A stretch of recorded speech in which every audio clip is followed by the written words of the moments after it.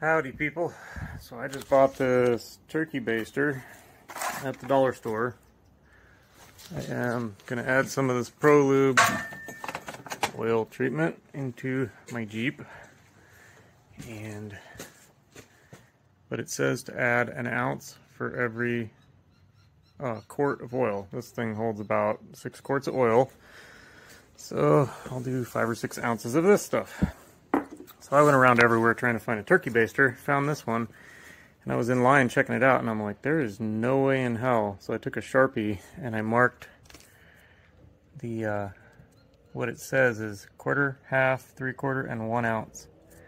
Like, there's just no way in hell. I mean, I just don't see it. Like, for, sorry, for reference, that's a Sharpie.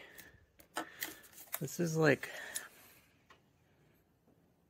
way bigger around than a damn Sharpie. I'm supposed to believe that that's one ounce. And this, I found this inside. I don't know if you can see in the bottom, it says four ounces. So I marked them roughly, you know. So we're going to find out. This whole volume there is only going to fill this up to here. So also going to do an experiment with this ProLube. It says that you can, uh, well, from the videos I've seen online, you start it up with a glass of water on your engine and then you let it run for like half an hour and you see how much smoother it is. I mean, I know this stuff is really good, but I haven't ever tried it. So I'm going to try that now. But what would you guys think if, like, I don't really have, I mean, I have a scale here, but it's, fluid ounces are different than like actual weight. So I don't I don't really know how to do it other than compare this to this because this is going to be fairly accurate. Accurate enough for what I'm going to do, but we're going to find out here. Okay, so I'm going to set this on the engine. We will light it up a little. And I'm going to fire this pig up and we will see what she looks like. Be right back. Okay, Alrighty.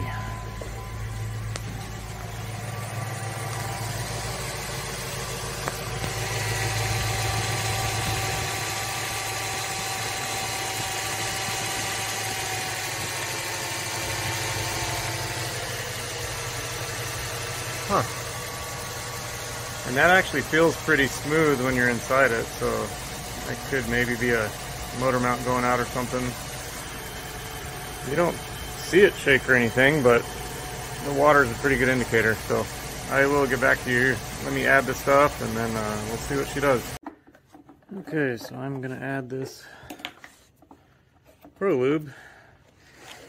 Probably can't do this one-handed. Be right back.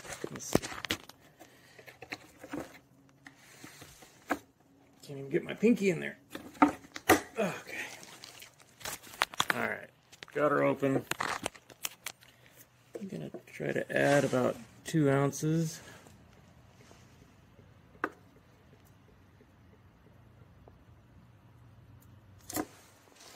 Oop. Okay, so now I'm gonna try to take only one ounce out of that and see how much this fills up. So.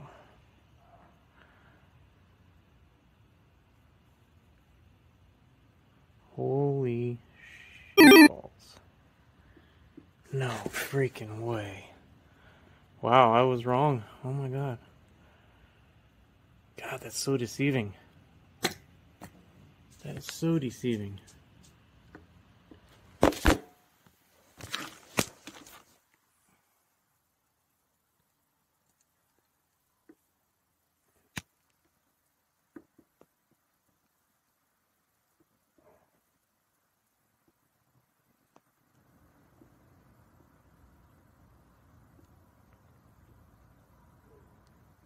Okay, that's an ounce right there. Unbelievable. I'm mind blown. That just looks like so much more volume than than that right there. Unbelievable. Okay, so I'm going to go ahead and add uh, five or six ounces to the engine, and then we'll try that experiment again. Okay. Okay, we're going to go ahead and add the we are going to add five or six ounces. All right.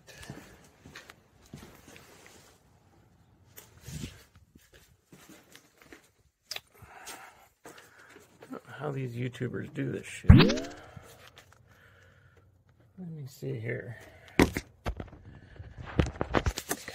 A lot of respect for the YouTubers that make these videos. Alright.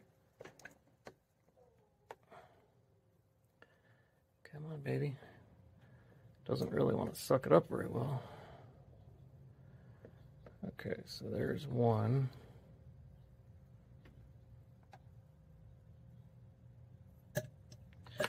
One.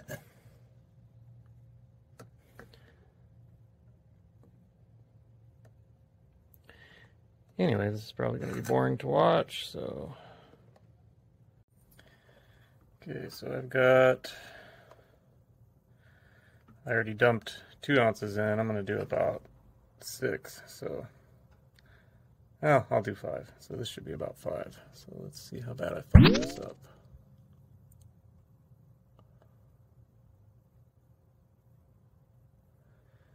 It's not as like honey like as the Lucas is. I don't know if you guys watch the TikTok videos for these ProLube guys. There's a like a grandson and a grandfather, and they test all the different types of oil, and then they have a bearing spinning with like a fulcrum arm with weight on it, and they put a few thousand pounds of force on it with all different types of oil, and it inevitably ends up like screaming and grinding on the bearing, and then they add their ProLube stuff, and then it quiets right down. So Anyway, I'm just to try this five ounces. I'll uh, fire it back up and let it run for a little bit, and then we can see.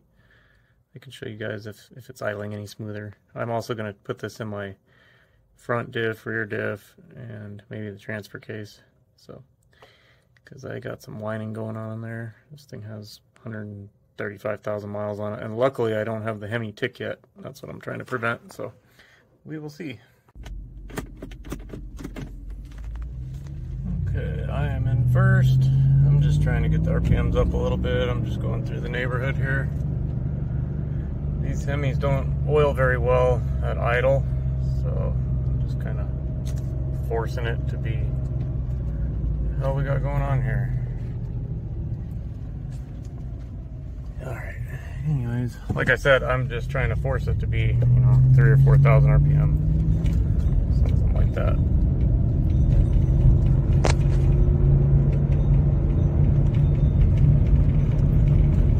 This phone doesn't want to focus.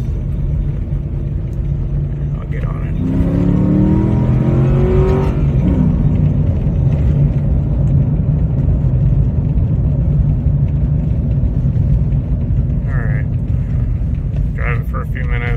try the idle test again.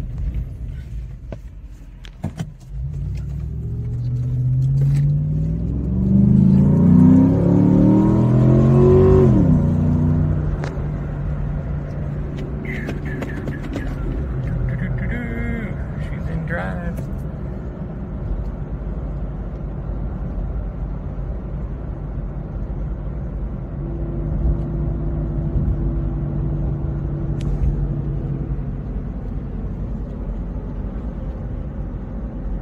day after Christmas today. Doing all kinds of construction right here. Tearing up this whole corner. They just put in this Mr. Car Wash. Ooh.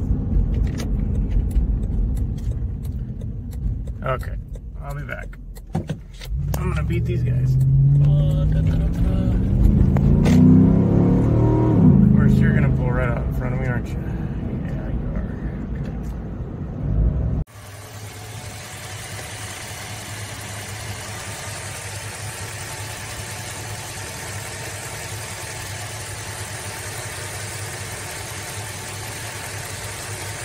So this is the next day that I'd probably only put another three miles on it. Honestly, the top doesn't look like it's rattling as much. but it is jiggling around, I mean, it is moving on the bottom, so. Ah. I guess I won't put this video out until I've had a little more time. The top is definitely less ripply, I would say. I don't know, I'll have to go back and watch the other video, but I think she's slowly getting better. I'll update you guys one more time before I make this video, hopefully tomorrow or something. So we're gonna fire her up.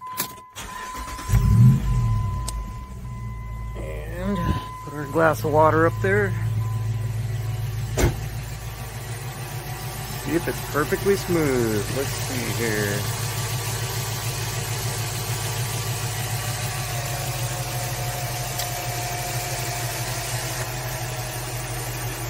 Um, I'm honestly not able to tell much of a difference.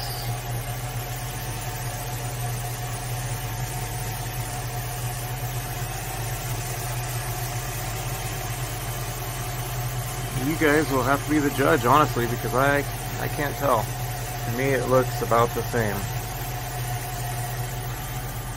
Well, sorry for that anticlimactic conclusion, but that's a wrap.